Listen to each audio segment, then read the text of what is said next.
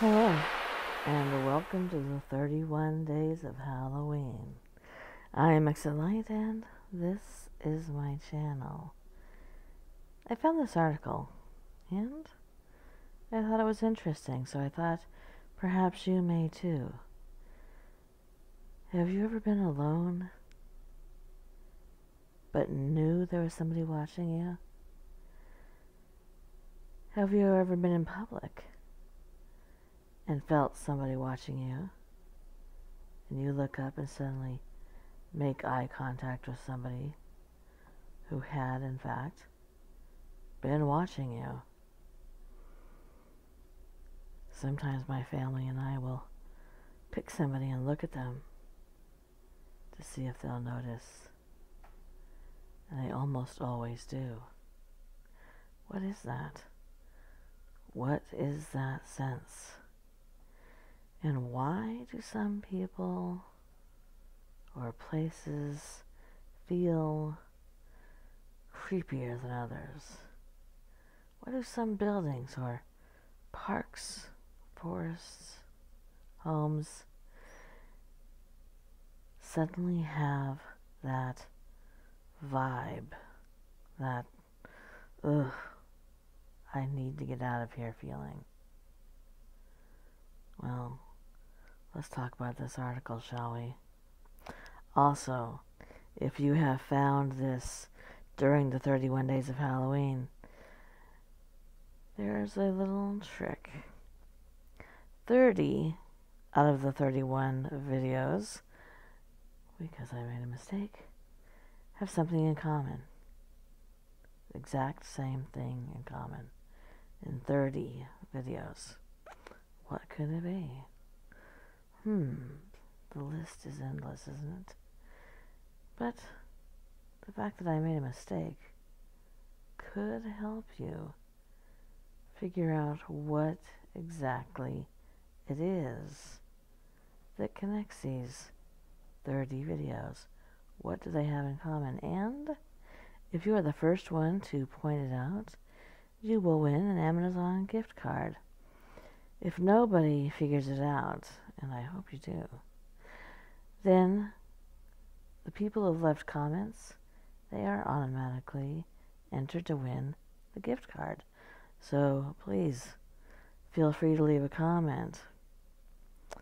All right. Let's talk about that. Creepy vibe.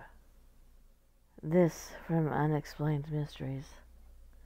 There have been many reports of hikers in the wilderness experiencing strange sensations, a sixth sense that something is amiss.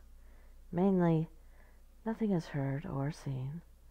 The forest or trail can go eerily quiet. Birds stop singing suddenly. And there can often be a feeling that you are being watched by someone or something.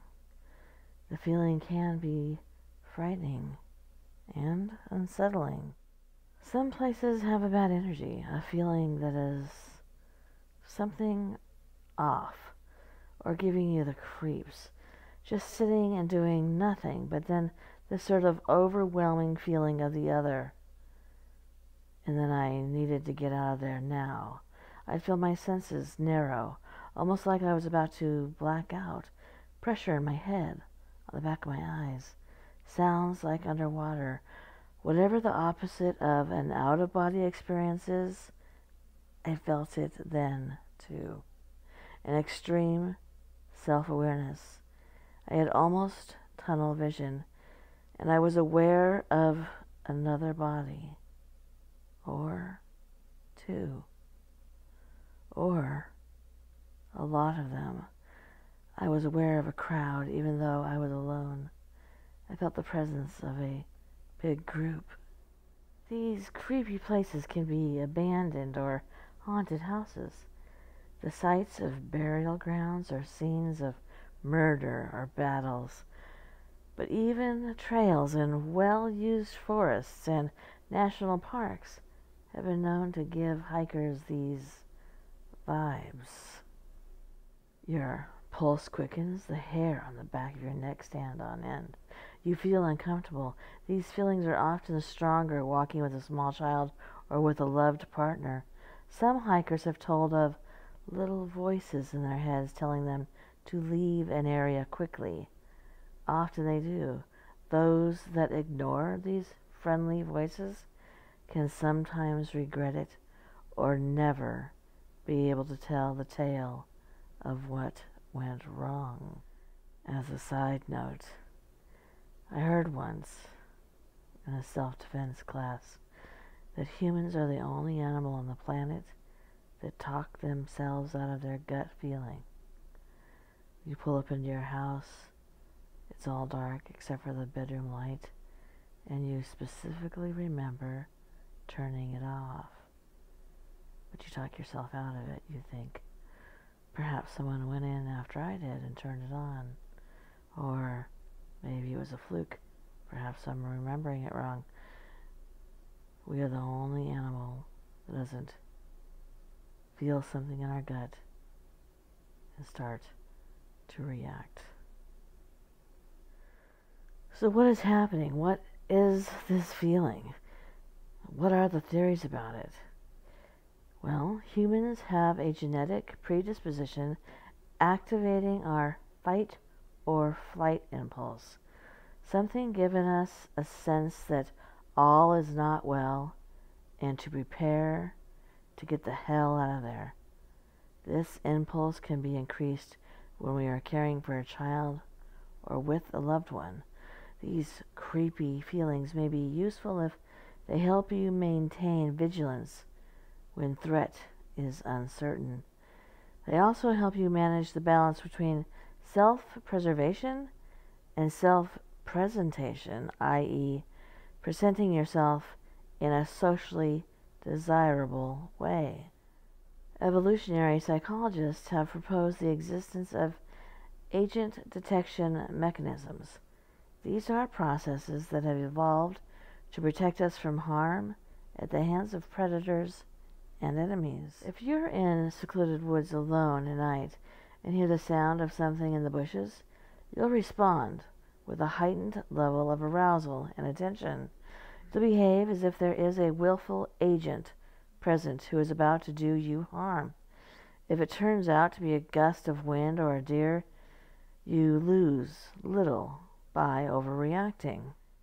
But if you fail to activate the alarm response and a true threat is present, the cost of your miscalculation could be very high, life threatening.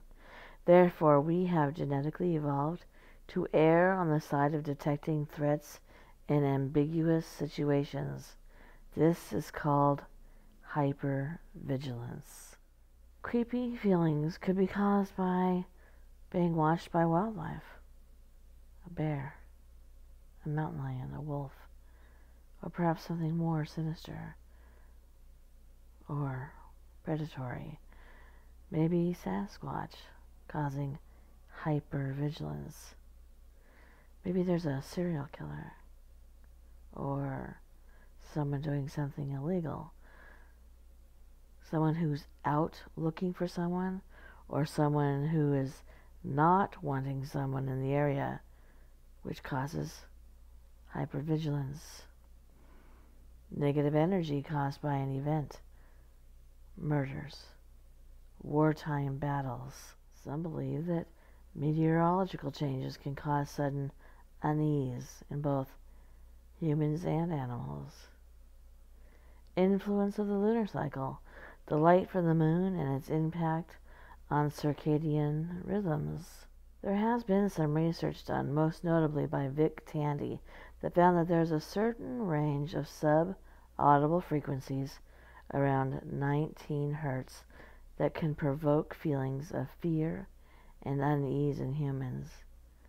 In his case, he was in his lab when he started to feel distinctly not alone and even believed he saw something like a spirit. This phenomenon is known as infrasound. Could it be something supernatural?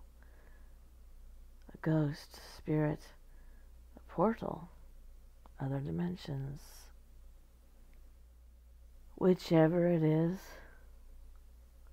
trust your gut. Believe that inner voice is telling you to run like hell. Then it's probably a good idea to take that advice. It's better to be safe than sorry and live to tell the story.